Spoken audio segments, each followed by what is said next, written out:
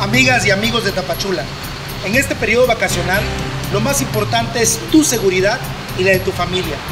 Por eso continuemos haciendo equipo Protección Civil Municipal y Ciudadanía. Sigue los señalamientos y respeta las indicaciones para tener unas vacaciones seguras. Pásala muy bien.